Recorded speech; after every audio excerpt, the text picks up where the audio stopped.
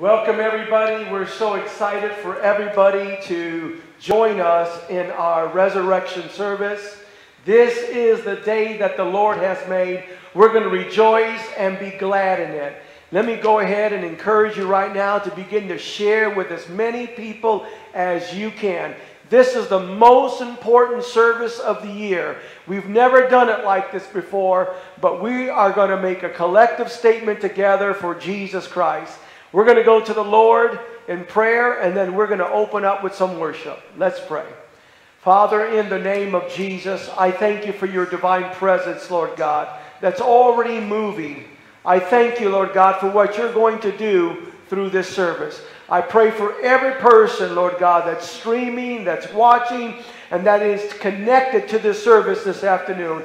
I am asking God for you to visit them with your supernatural demonstration during this milestone of celebration, Resurrection Sunday. In Jesus' name we pray. Amen. Let's worship the Lord together right where you are at. Let's lift up Jesus.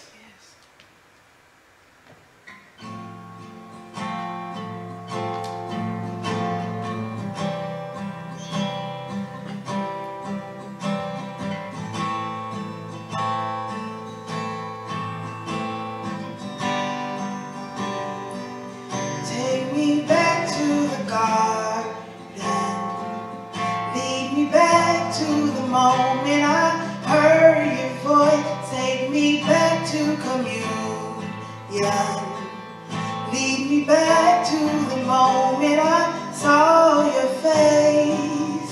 And it was all so simple. It was easy to love. And No space between us. It was easy to trust.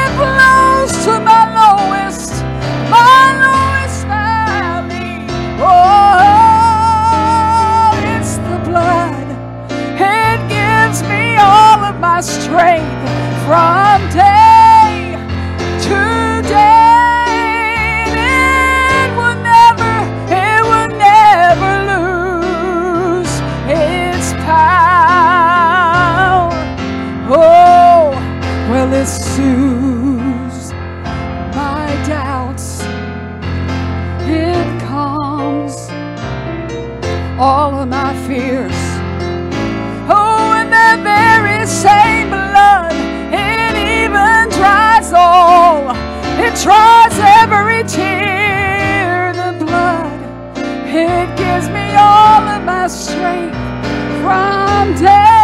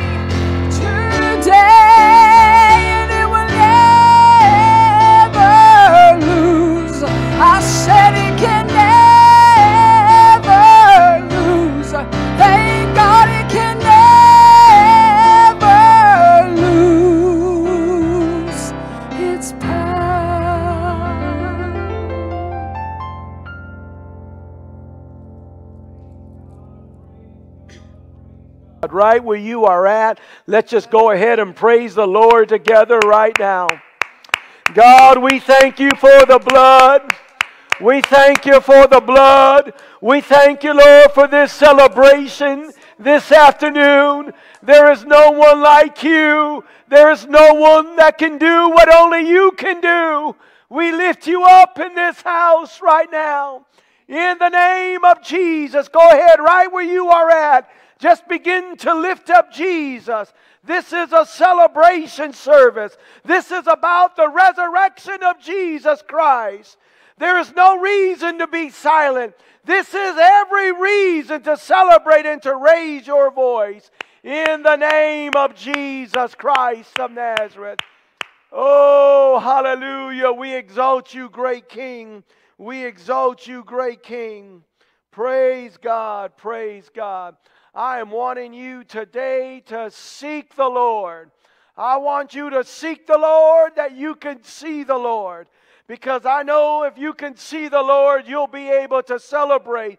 In the midst of what seems like an impossibility, you're going to be able to celebrate. Because there is a king that shines down, and there is power that is available to us today. God is in control. I'm wanting you to turn with me in your Bibles to the book of John, chapter number 20, please. I have a very special message for us today in this Easter celebration. And God is going to speak to you today. He has a word for you today. He has not forgotten about you, and you are not left in the dark. Today is a brand new day, and it is a day where revelation knowledge is going to meet you and it's going to encourage you. Revelation chapter number 20, please. Verse number 15, and we're going to read down through verse number 22. Jesus said unto her, Woman, now this is Mary Magdalene. What happened? Jesus got up early in the morning, Sunday. He gets up and defeats the grave. And when he gets out of the grave, Mary Magdalene and the Marys were with her. And they came to see Jesus. You see, they didn't know if Jesus was going to be there, but they were seeking after Jesus. And because they were there seeking after Jesus, they were going to see Jesus. Uh, Jesus said unto her, Woman, why weepeth thou? Whom seeketh thou? She supposing him to be a gardener, said unto him, Sir, if thou have bore him hence, or if you if you have put the body away, is what she's saying, tell me where thou hast laid him, and I will take him away. And Jesus said unto her, Mary, she turned herself and said unto him, Rabboni, which is to say, Master. And Jesus said unto her, Touch me not, for I have not yet ascended to my Father.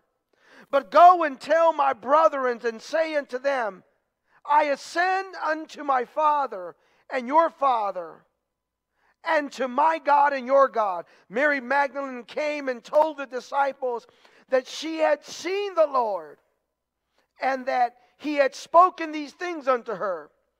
Then the same day at evening. She sees him in the morning, but at evening time, Jesus is coming to his apostles. They're in a room and they're locked up. They don't know what the outcome is going to be. And Jesus does not hesitate to knock on the door. Jesus walks through the door because Jesus is the door. Glory to God. Then the same day at evening, being the first day of the week, when the door was shut where the disciples were assembled, for fear of the Jews, Jesus came Jesus and stood in the midst and said unto them, Peace be unto you. Now, that word peace would be a word, if we looked at it in the Hebrew, it's where we would get shalom. So he's telling them shalom, which means peace or wholeness be unto you. And when he had said, he showed unto them his hands and his side. I want you to take notice of that. Jesus walks into the room. He tells them, Peace be unto you. After he speaks the word peace, he immediately directs them to his hands, where they drove nails in his hands, and he shows them his side, where the Roman centurion pierced his side. And then he repeats it one more time to them. Peace be unto you. And when he had thus said, he showed them his hands and his side. Then were the disciples glad when they saw the Lord. Then said Jesus to them again, Peace be unto you. As my Father has sent me, even so send I you. And when he had said this, he breathed on them and said unto them, Receive ye the Holy Ghost. I want to take a few moments here in this incredible celebration today. And I'm hoping that you're feeling the Holy Ghost even right there in your living room or in your kitchen or wherever you may be. Because I'm going to talk to us today about the perfect sacrifice. The perfect sacrifice. Let's go before the Lord in prayer. Father, in the name of Jesus, I thank you, Lord God that we are able to assemble together in body through the Spirit. I'm asking for every person that's tuned in and watching right now. I'm asking for your presence to begin to rest upon them. I'm asking for hearts to be open and that you would minister to us the revelation and the truths of your word. I'm stepping back, you step forward, Lord. For I declare all of you and none of me, and that the devil is defeated in Jesus' name. Go ahead and say amen. Praise God. The perfect sacrifice. When you consider perfection, it doesn't take long for us to begin to wonder where we are going to find it because there's not a lot of things in life that we can look at and say that it is perfect. Even if you begin to consider craftsmanship, or if you begin to consider maybe uh, someone that works with wood, an individual would first have to cut down a tree and prepare the tree to begin to treat that tree to try to bring it to a state of perfection. And so, what they would begin to do after they cut the tree and plane the tree, they would begin to sand the tree. They would begin to sand the tree in attempt to somehow get rid of all of the imperfections. Then, after they sand the tree or the piece of wood, they would begin to take some stain and they would begin to stain that piece of wood because the craftsman, the designer, is after bringing a sense of perfection to that piece of wood, such as a table or a chest. And so, after they would sand it and after they would stain it, they would go ahead and begin to treat it with uh, a sense of polyurethane. And after they seal it, and after they've done all the work, where they cut it down, they sanded it, they stained it, and they polyurethaned it. And after they would look at it, they would look at it and say, It's a beautiful piece, but they cannot look at that piece of wood. They cannot look at that table or that chest and say that it is perfect. They can bring it as close as they can to perfection, but they know that it is not perfect. Because if they would peer close to that piece of wood, they would begin to see the different knots in that wood. They would begin to see the different markings in that wood, revealing that it is not perfect. Because in life, we cannot find things that are perfect. Not even if you look at uh, our children, in the sense to say that they are flawless. We love them, we adore them, and they're born, and, and in that state, we can appreciate them and say they're perfect. But as they begin to grow and as they begin to develop, as they begin to get one, two years old, all of a sudden you begin to see the imperfections of life, the imperfection of a fallen nature begin to bleed through children. And of course, as we get older and we try to improve our lives ourselves and we strive to live the best that we can, and of course, the goal would be to be perfect, but within ourselves, we fall so short of being perfect. And truth be told, everyone is flawed in one way or another, and everyone is imperfect in one way or another. And this is why we have a reason to celebrate today Jesus Christ because Jesus is the only one that is perfect. And because Jesus was perfect, Jesus was the perfect sacrifice. And today, if you could really open up your heart and begin to seek Him in a way where you desire to see Him, because you can never see Him if you don't seek Him. But if you can begin to see Him today, and all of his perfection. Once you see him, you'll begin to celebrate him. Go ahead and say, Praise the Lord to that right there. Matter of fact, why don't we go ahead and clap our hands unto the Lord Jesus Christ, who is our perfect sacrifice. Now, I want us to begin to look at some things in the scriptures here. I want to begin to reveal to us some insights because whatever we don't know, what has been invested to us, it has the potential to place us in a state of captivity. I know we have been touched and our lives have been disruptive, and some of us feel very confined and restricted. But I want you to know that we are not in a state of captivity. We have been liberated because of the perfect sacrifice of Jesus Christ. Go with me to the book of Isaiah, chapter number 5, verse number 13. God says, Therefore, my people are gone into captivity. They're gone into a state of bondage. Why, Isaiah? Why are God's people bound? Why are they limited? Why are they restricted? Because they have no knowledge. He says, because they lack the revelation to understand what has been invested in the earth and what has been invested in the church. Because they lack the revelation, they're living in captivity. So it is my responsibility today, it is my assignment today to reveal to you some of the things that has happened with our perfect sacrifice.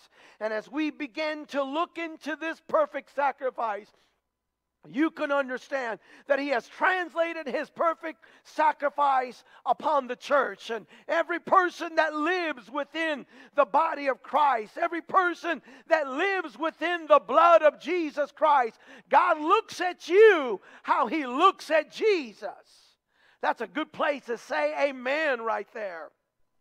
We're going to look at this here because this is what happened with Jesus. You have to understand the Bible says in John chapter 1, verse number 29, that when John the Baptist looked at Jesus, he said, Behold, the Lamb of God that taketh away the sins of the world. Yes, Jesus was a man in every way, but you have to understand that Jesus was born to be the sacrifice for the sins of fallen man. And so Jesus had a very unique assignment, his responsibility was that he had to defeat the law by submitting to the law. He had to live a perfect life, a flawless life. So Jesus had to control every decision that he would ever make. Jesus had to control his thoughts, every thought that he would ever have. Jesus would have to bring every thought unto the submission of God. Jesus would have to bring every decision unto the submission of God. Jesus had to dot the law, dot the I of the law, and cross the T of the law. He had to complete all of it. And because Jesus was perfect in completing the law, and because Jesus never committed a sin, he never committed a trespass, and because Jesus stayed on course, he never got off course. He stayed in perfect union with his Heavenly Father. Praise God. He stayed in absolute connection with his Heavenly Father. And because he stayed in absolute connection with his Heavenly Father, and he was submitted unto him, Jesus was perfect. He was so perfect, he completed the law. He says, I didn't come to do away with the law, but I've come to fulfill the law. Jesus is the only one that has ever fulfilled the law. And because he fulfilled that law and because he lived this perfect life, Jesus was able to present himself as that sacrifice that would die on the cross. And that's exactly what happened on the day of the Passover. Jesus was going to be crucified, and Jesus being crucified was the expression of Jesus being sacrificed for the sins of the world. And God was in control of the whole thing. It seemed like such a harsh and cruel situation that Jesus was in. Think about it. Here Jesus is, the Son of God, and God is having His own Son go to a cross.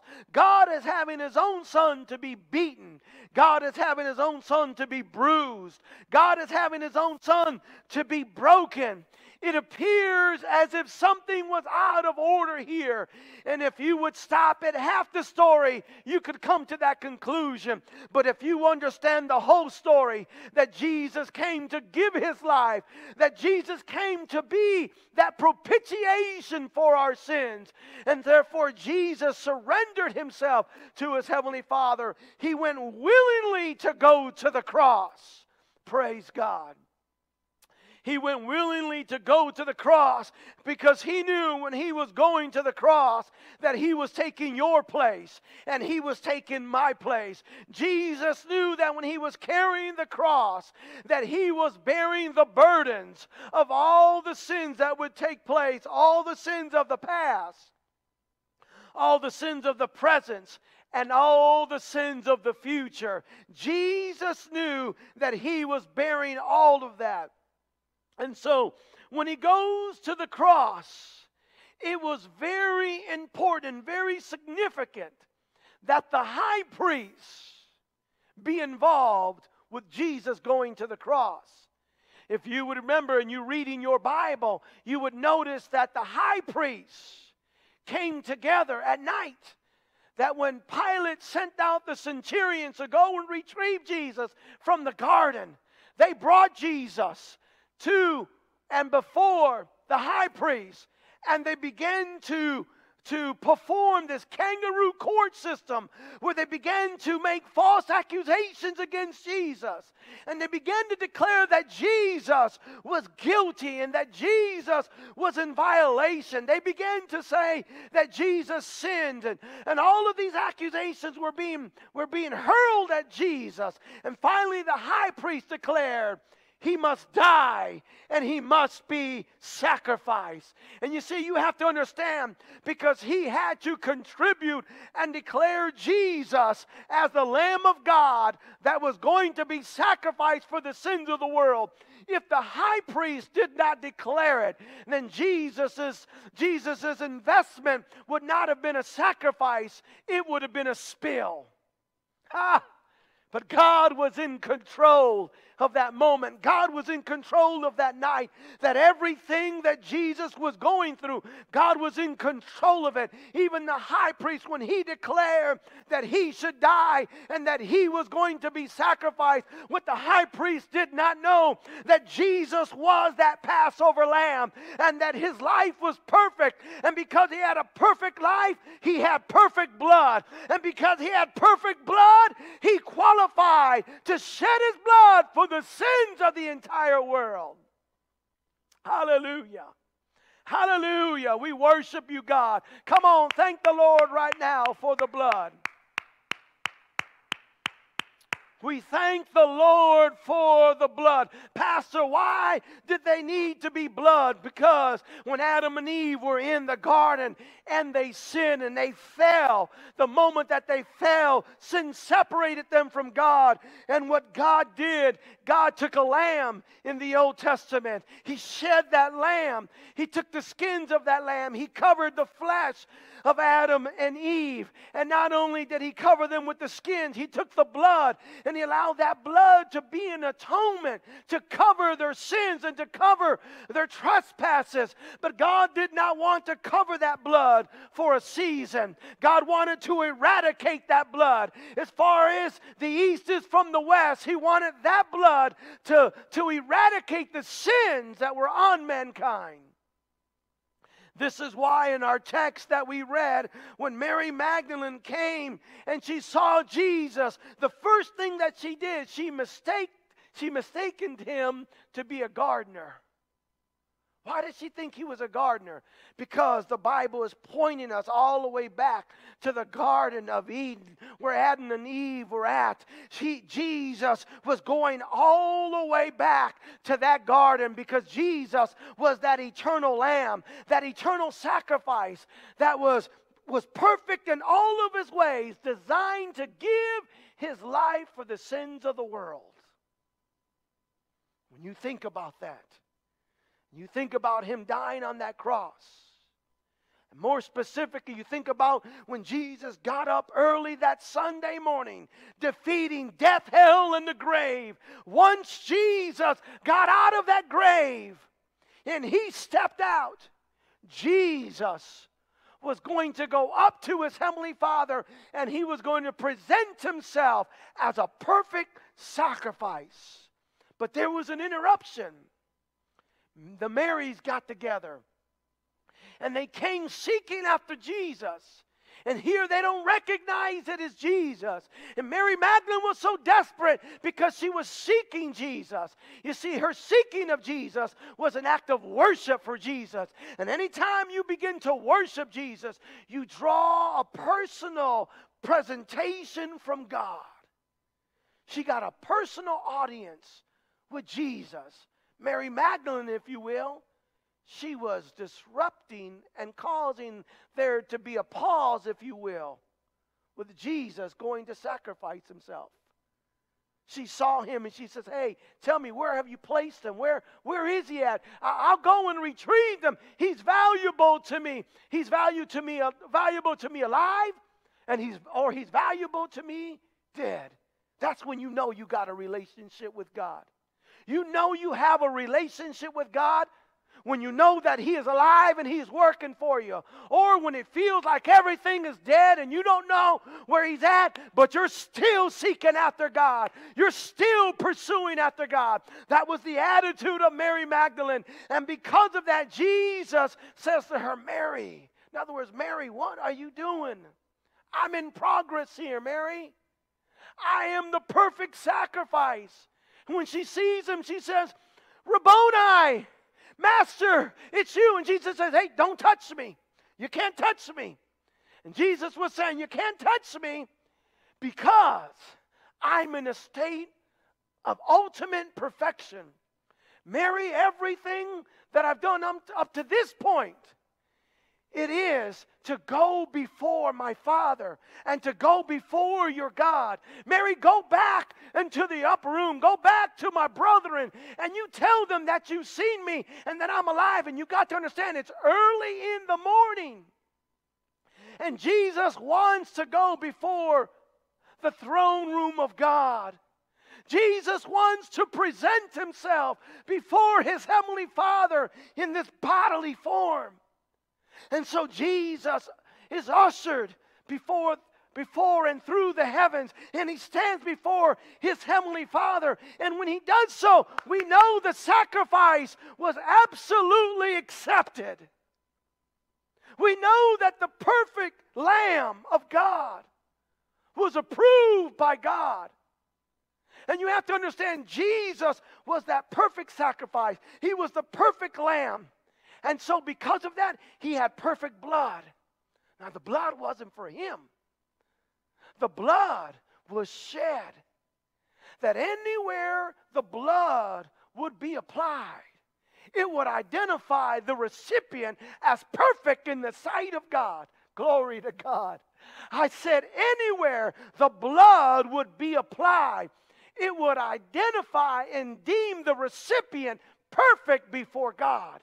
Ladies and gentlemen, I don't want to get ahead of myself, but God has declared the church perfect before God because we are the recipients of the blood of Jesus. And you that are watching today, you're going to be able to position yourself for the blood. You're going to be able to position yourself to experience the blood because God wants to wash away your sins and God wants to bring you in a point of perfection before Him. Not that you're going to be flawless, but that you will be faultless. The blood doesn't make you flawless. There is a constant striving and developing, seeking after God, growing in your sanctification, but it does make you faultless before God.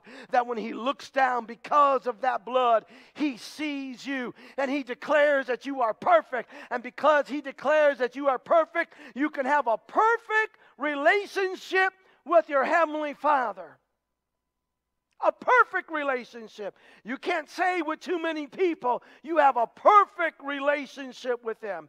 You can say, I've got a good relationship with my mom, but you don't got a perfect relationship with your mom. You can say, I got a good relationship with my kids, but you don't have a perfect relationship with your kids because there's nothing in this life that we can look at and say that's perfect, not even a relationship. But you can look at God and because of the blood of Jesus and because you are in Jesus, you can say, I've got a perfect relationship with God because of the perfect sacrifice.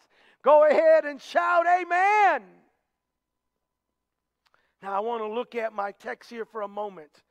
This text, it, it, looms at me so many different things that after Jesus says, Mary, you know, don't touch me, I'm going up. And he goes up in the morning. The Bible says at evening time. In other words, the duration of time from the morning from when he got up till he went before the heavens and he presented himself at evening time. In other words, Jesus came back to this earth. He comes back with this earth, and Jesus comes with good news as the perfect sacrifice of God. He, he was so excited to see his brother and his disciples and his apostles that he didn't wait to knock on the door and say, Hey, Peter, open up the door, let me in. Hey, hey, Mary, make some. It's Jesus, let me in. He didn't wait for any of that. He was so excited and he had the power. He walked right through that wall, he walked right through the door. Wow. You know how excited Jesus is to have a relationship with you? That he walked through that door, symbolizing that he can walk through any barrier. He can walk through any situation that you feel that you are separated from Jesus. He can touch you right where you are at if you would just let him walk in through the barrier. If you would just call upon the name of Jesus, and if you would realize He is the perfect sacrifice, He can walk through the barrier. And when He walked through that barrier, that door, the first thing that He says unto them, He says, Peace be unto you. In the Hebrew, He says, Shalom be to you guys. They saw him and they were shocked. And the Bible says he was in the midst of them.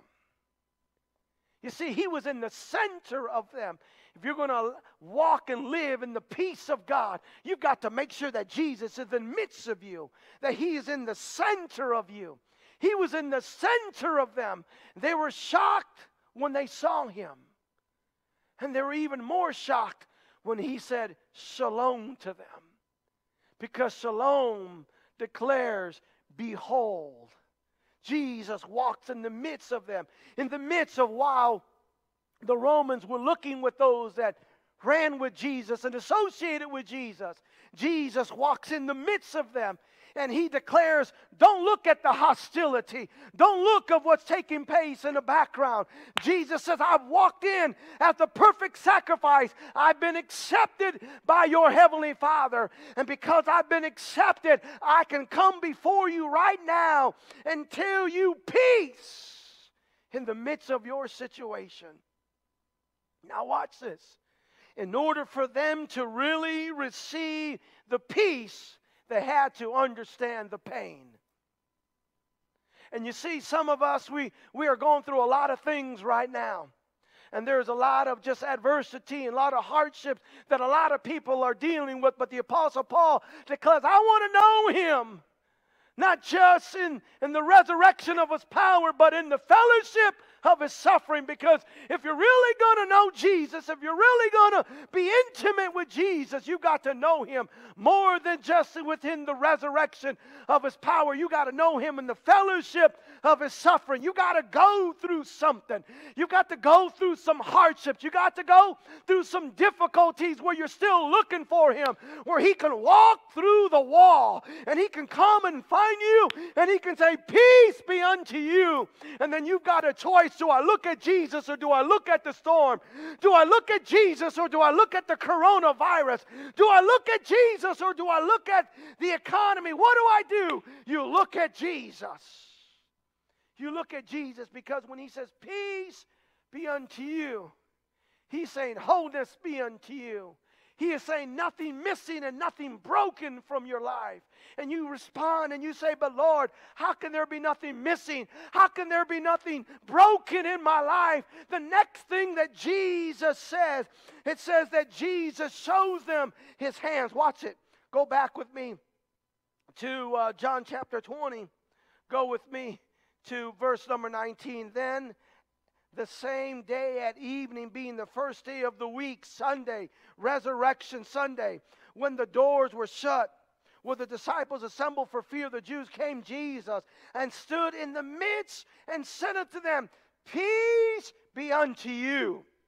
And when he had so said, he showed unto them his hands and his side. Then were the disciples glad when they saw him. It wasn't when Jesus spoke the word and said, Peace, shalom. It was when Jesus showed them his hands. It's when Jesus showed them his sides. Why? Because Jesus had to show them his pain. When they saw his pain, they were able to receive his presence. And when they were able to receive his presence, they were able to be a recipient of his peace. And I've come today to tell you the perfect sacrifice has been sacrificed already. It's Jesus Christ. And because he is the perfect sacrifice, today he is coming to you. He is coming to you to touch you with his presence. And if you can receive his presence, you can experience his peace. But you can only experience that peace if you understand his pain. The pain that he endured. Oh, we celebrate the resurrection today, but oh, the atrocities that Jesus had to endure on the cross, the atrocity that Jesus had to endure while he was in Gethsemane and how he prayed and how he was up all night and how he was suffering. Oh, he had to endure so much warfare. There was so much pain attached to Jesus. Yet, through it all, he remained perfect in the sight of God. Through it all, he, he refused to surrender over to the temptations of the devil. He refused to break the law. He refused to, to abandon his assignment. He was so committed to his assignment. And, ladies and gentlemen, he's still committed to that assignment that after he ascended up to heaven, the Bible says he has sat down in the right hand of power. He is sat down in the right hand of power. He is in a position of authority. And He stands as our great intercessor in prayer. And when we are here on this earth, blood bought and spirit filled, I am telling you, when we begin to call upon the name and when we have understanding of the perfect sacrifice, when we understand what He did, oh, we can become a recipient of it because of what he did. Look with me to Isaiah chapter 55, please, verse number 1. He said, Ho, everyone that thirsteth, come ye to the waters. And he that has no money, come ye and buy and eat. Yea, come buy wine and milk without money and without price. I like the way it, it says it in the Amplified. He says, Wait and listen, everyone who is thirsty. Come to the water. He who has no money, come and buy and eat. Yes, come and buy the priceless spiritual wine and milk without money and without price, simply for the self surrender that accept the blessings. He says, Come when you realize that you are imperfect, when you realize that you are never going to get yourself right, but you've got to come to the one that has already provided the sacrifice, and you've got to present yourself to Him and realize, God, I'm broken, and God, I don't have anything to offer you, and God, I've turned from you, and it's taken this entire pandemic to wake me up, but God, I come to you in my brokenness, and I come to you with a thirsty spirit, and I'm needing that new wine. I'm needing you to restore my joy.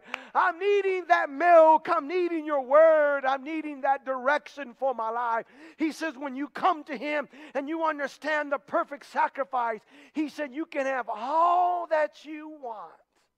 Praise God. Praise God. Go ahead, say, Praise God. Praise God. Hallelujah in Ephesians chapter 1. I want you to see with me at verse number 6.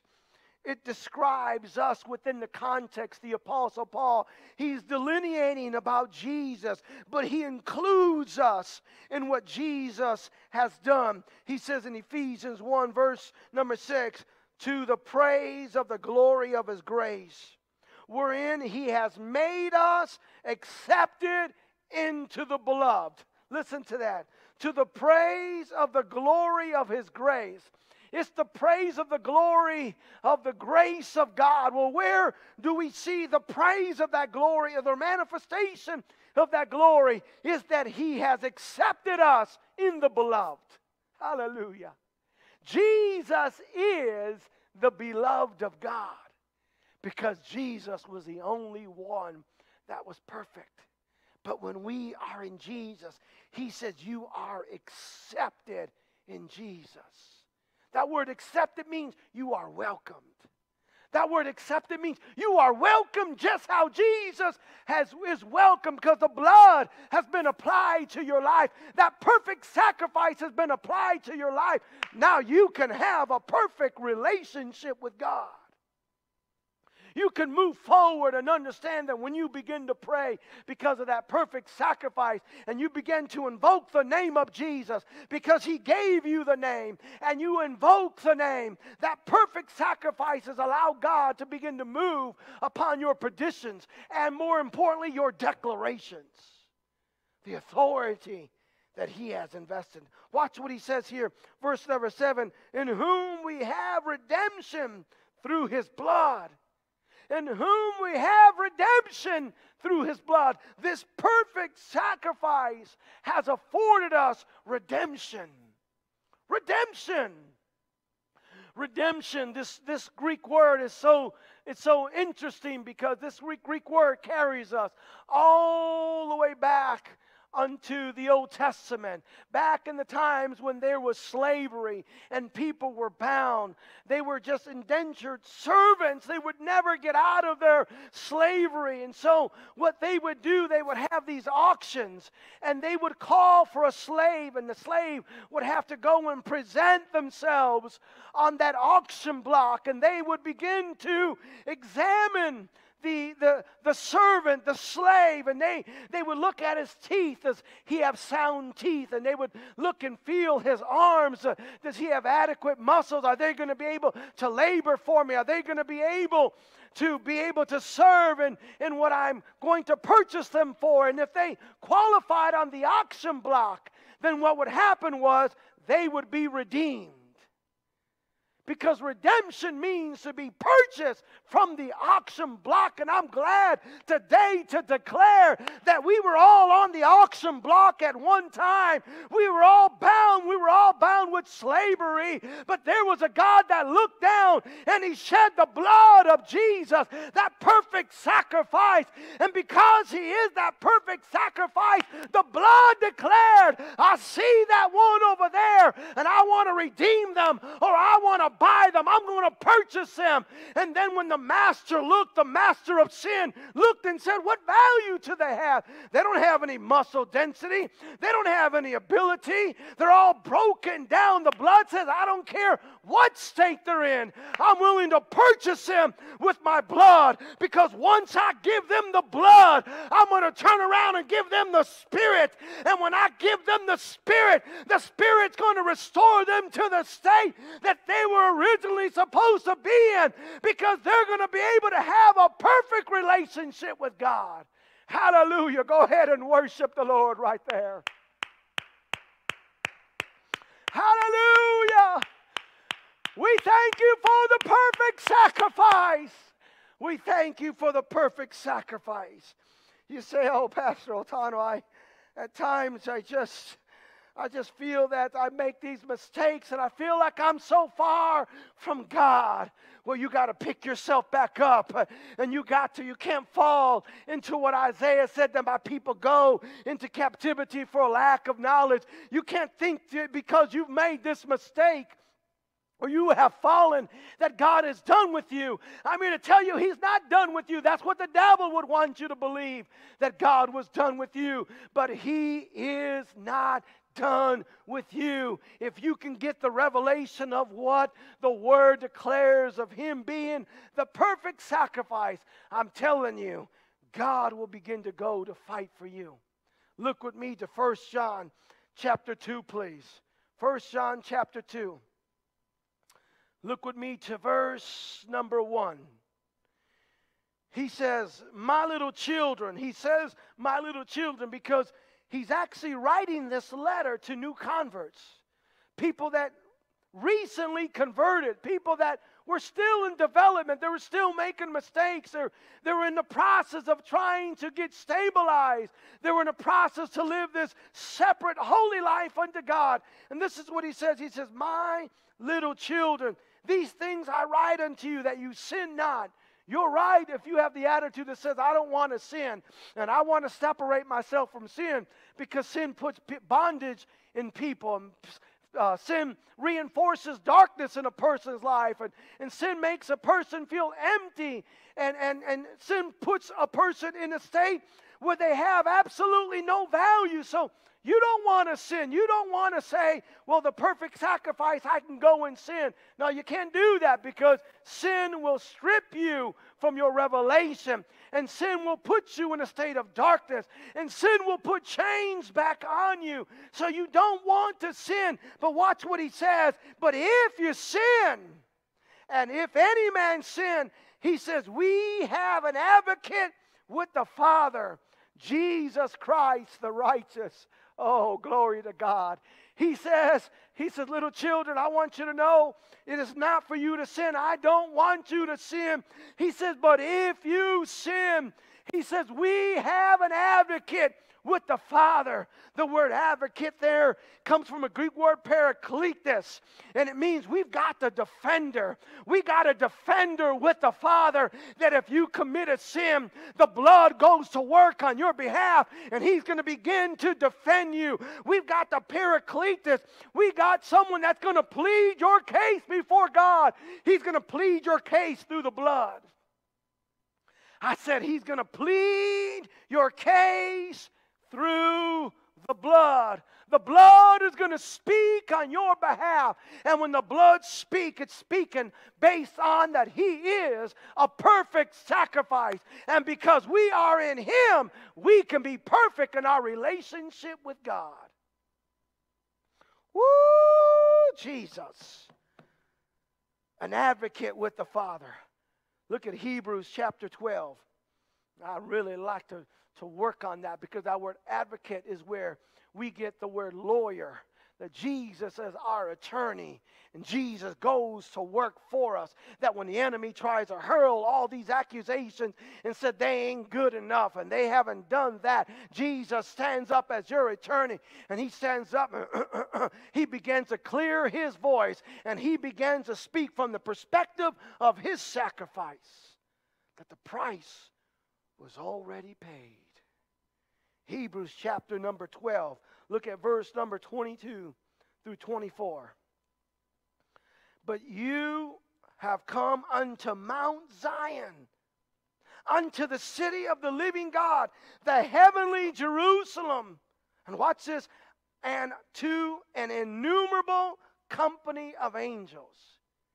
Listen, he says, when you came into the kingdom of God, when the blood was applied to your life and the Spirit was loose upon you, he says, you have come to the heavenly Jerusalem where there is an innumerable company of angels.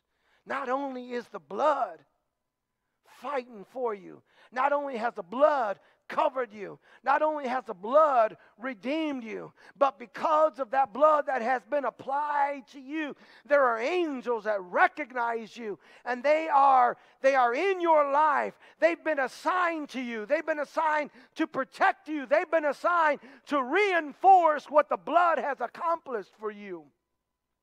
Watch what he says to the general assembly and to the church of the firstborn, which are written in heaven, and to God, watch this, the judge of all, and to the spirit of just men made perfect and to the spirits of just men made perfect. Who are, who are the just men? The ones in which the blood has been applied to. That when the blood was applied to you, the Bible says that you are now just and you have made, been made perfect in the sight of God. Mm-mm-mm. You have made, been made perfect. Look to your family member and tell them right now and say, You have been made perfect. Now look at the family member that gets on your nerves and tell them God's still working on you. You have been made perfect, perfect, but some of you are still a project in development. Glory to God. Watch what he goes on and says here. Look at verse number 24. And to Jesus, watch this, the mediator of the new covenant, and to the blood of sprinkling that speaketh, watch this, better things than that of Abel. Hmm. Jesus is the mediator between the new covenant and to the blood of sprinkling, that blood that was shed, that speaks better than the blood of Abel. He's saying that the blood of Jesus speaks better than the blood of Abel. After Adam and Eve fell in the garden, they had two children. They had one son by the name of Cain. They had another son by the name of Abel. These were the first two offsprings that were born into sin. And the Bible says that Adam, it implies that Adam instructed them how to have a relationship with God, that you had to build an altar, and after you built an altar, you got to sacrifice a lamb at that altar. And when you sacrifice the lamb, the lamb will cause you to be accepted in the sight of God, but you have to do this annually before God. And so, what ended up happening was that because Abel was a sheep herder, he brought a sheep. He brought God the best sheep. And when he did so, the Bible says God had respect unto Abel's sacrifice, and it came before the Lord as a sweet fragrance. But Cain, who was a sheep, wasn't a sheep herder, he was a farmer. Cain came and he got the best fruit that he had. He built an altar. He, he presented that fruit and, and lit that fruit before God. And when it came before God, it was offensive unto God. It was offensive unto God because Cain was trying to be self sufficient. Cain was implying, God, I know you want me to bring you a lamb, but I want to be more self sufficient. I'm going to exercise what I have to offer you. I'm a farmer, so I'm going to give you what I have. It's implying a sense of self sufficiency, it's implying a sense of performance. So Cain comes before God and he tries to qualify himself before God. He's striving to justify himself before God. Let me offer you this sacrifice. But you see, he didn't understand that the lamb in the garden and the lamb in the Old Testament was pointing to the lamb of the New Testament. He didn't understand that God was the one that provided the instructions of how we would come before Him. And that's important for us to understand because you just can't come to God anyway. You just can't give God whatever it is that you're wanting to give God. You can't just say, Well, I'm not going to repent myself and I'm just going to offer God some of my good works and I'm going to do what I think is, is sufficient in my own eyes. That's an attitude of Cain. And if you come that way, the sacrifice cannot be accepted. It has to come where there is a lamb that's presented. And the lamb has already been presented. You don't have to sacrifice the lamb today. What you need to do, you need to receive the lamb today. And if you can receive the lamb today, then you can make preparation to apply the blood of the lamb in your life. And if you get the blood, he'll give you his spirit. Say amen to that.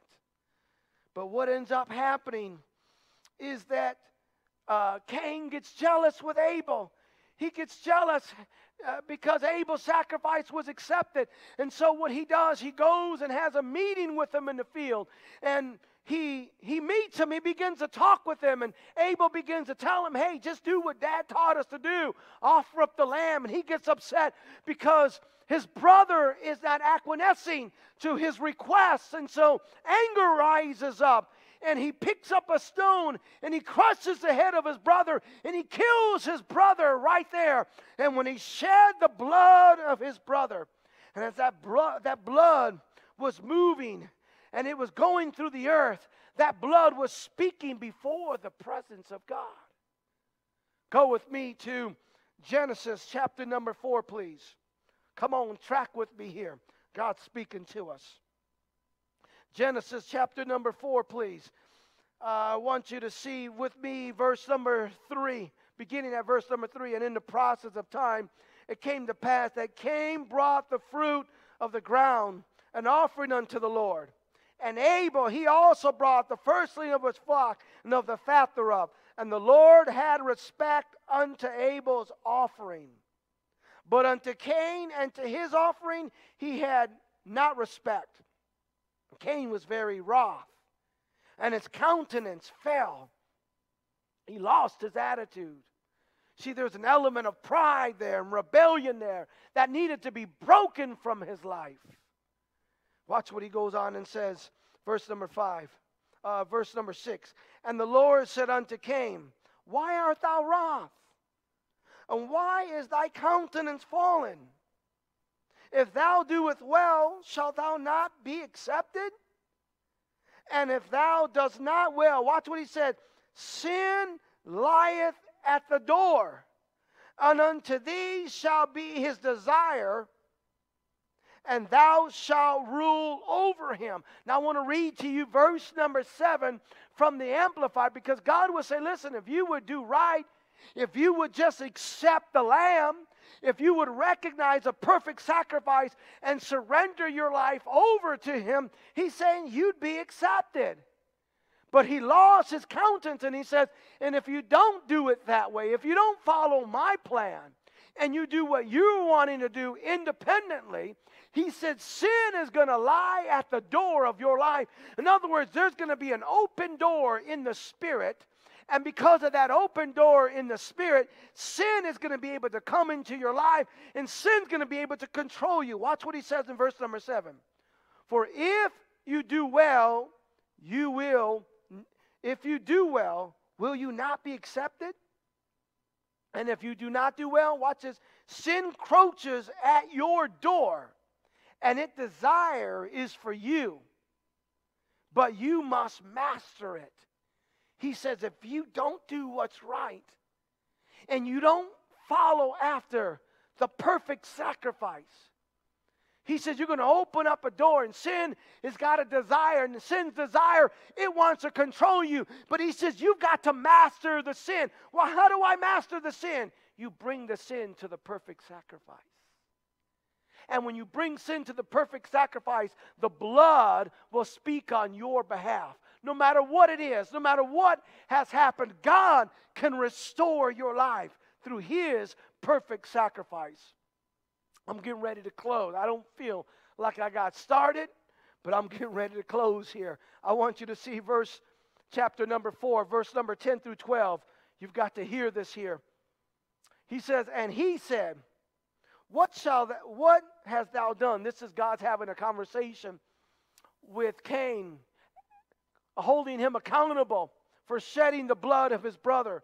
He said, What hast thou done? Watch this. The voice of thy brother brother's blood crieth unto me from the ground. He says, I know what you've done because blood has been shed. And that blood that has been shed has a voice. The voice is speaking through the blood. And that voice is crying out before me. Now, the blood of Abel was crying out for justice because uh, Abel was unjustly murdered by his brother. So that blood was crying out for justice. And God heard that voice. And God came and he came to Abel, and it doesn't, the word voice here in Greek is call in Greek. And it's more than just an utterance. It's not, God is not saying that the voice of your brother came to me was just an utterance. He's saying it's call in Greek. He says, The voice, your brother's blood, is yelling before my throne. Your brother's blood is coming before my throne. It's yelling for justice. And the scripture says that the blood of Jesus speaks that better than the blood of Abel. Abel's blood cries out and says justice, but Jesus' blood cries out and says justified. Justified because of the blood of Jesus justified because of the perfect sacrifice. And when you have that perfect sacrifice and you can have it today, all you've got to do is surrender your heart unto the Lord Jesus Christ. All you've got to do is ask God to forgive you of your sins. And if you ask God to forgive you of your sins, God will hear you and God will forgive you. And when you put your faith in Jesus, you surrender over to His plan. Because it's not going to be very long until we're going to be able to assemble together. And as we pray here this afternoon, as we pray here tonight, we recognize the perfect sacrifice of the Lamb, what has been offered. As we recognize this sacrifice, as we yield to the sacrifice, the blood it's going to start to move. And then when you come, you can show the obedience of your faith. We'll take you down in the beautiful name of Jesus. But I'm here to tell you as you call upon that perfect sacrifice, the Spirit of God will meet you right where you are at. He will fill you with His Spirit. There is nothing that can stop it. Because Jesus sits in the position of authority even right now. The other day, my daughter Celeste pointed out to me this flower that we had on, on the counter. We had some people come over and they brought this beautiful flower. I think it's a blue star, something like that. And we had it on the counter. And it was interesting because during the day, the flowers were leaning towards the window where the sunlight was coming in. It was leaning towards the window because it was after the light. But at nighttime, the flowers were literally changed position and it was leaning towards the light in the kitchen. Because the flowers wanted to live, the flowers were leaning into the light. I ask you today do you want to live in Jesus? You got to lean into the light.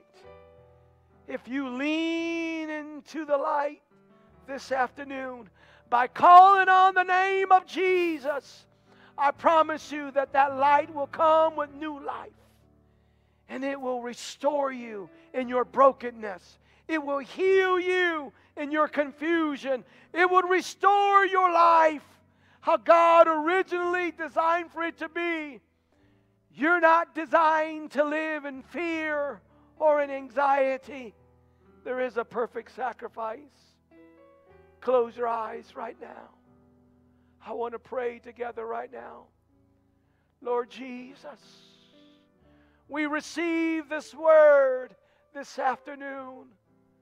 We thank you, God, for this word that's brought our attention to the perfect sacrifice that took place 2,000 years ago. The perfect sacrifice whose blood speaks better than the blood of Abel. Right now, Jesus, we worship you. We worship you with all of our hearts. We worship you. And we're asking, God, that you would forgive us of all of our sins right now in our living room, right now in our kitchen this Easter Sunday. We're asking for your forgiveness. We turn to the perfect sacrifice. We surrender our lives over to you. Oh, we thank you for it. We thank you for it. We thank you for the perfect sacrifice. We receive it right now. Oh, we receive it right now. Come on, saints of God. Come on, church. Right now in your living room, just continue to worship for just a moment. This is a celebration. This is Resurrection Sunday. God, we thank you for the perfect sacrifice that's changed and transformed our lives. We adore you and we exalt you in the name of Jesus, in the name of Jesus, in the name of Jesus. Heal that broken heart, Lord, right now, in the name of Jesus. Lift off of them the anxiety that they have been under in the name of Jesus. I break the chains of bondage that tells them they cannot change because of the blood and the perfect sacrifice. You can change in the name of Jesus. In the name of Jesus. In the name of Jesus. Hallelujah, hallelujah. Clap your hands unto Jesus Christ. Hallelujah, hallelujah. Thank you, God. Glory be to your name. Glory be to your name. What an incredible service we have shared in. What a time we have had together worshiping the King of glory, celebrating the Word, recognizing the revelation of the perfect sacrifice. I'm going to continue to, to stay in this series. This is just the first installment. Oh, we're going to be talking about this thing here because God is doing a work in your life. And listen, today, if you've repented of your sins and you surrendered your life to Jesus, I want you to celebrate that. I want you to make remarks right there, make comments right there. If you're wanting to be water baptized in the name of Jesus, go ahead, make comments there, inbox us. Eventually, we're going to come together here shortly. We're going to make that possible. And we're so grateful for you to tune in today with us. Before we conclude, because this is Resurrection Sunday, today represents the Passover. And the Bible teaches us about a special offering, an offering that honors the Passover or the resurrection. Today I'm asking you to sow your best seed in support of the resurrection. A seed in the Bible represents a future. It's interesting because the first prophecy of Jesus is found in Genesis 3:15. Where the Bible says that his seed was going to crush the head of the serpent. And I want us to consider that today as we prepare to give the best offering, Passover offering that we can give. And you can do that by going to our website. You can go to ChristianRevivalCenter.org. You can go there at the giving icon there, and you can go ahead and do that. And, and electronically there, it is very secure, it's very safe. You're going to help us to continue to move forward and do what we're called to do and, and reach the world with this message. I want to thank you even beforehand because I know that there's giving hearts that are watching right now. Jesus can't touch our heart with this love and us not want to give back something to Him. I thank you for that. If you would like to mail the offering in, you can do that by going to uh, Christian Revival Center, 805 West 57th Avenue, Merrillville, Indiana, 46410. You can mail that in if you like to do it that way. Thank you for being with us and celebrating Resurrection Sunday. I want you to remember we love you in Jesus.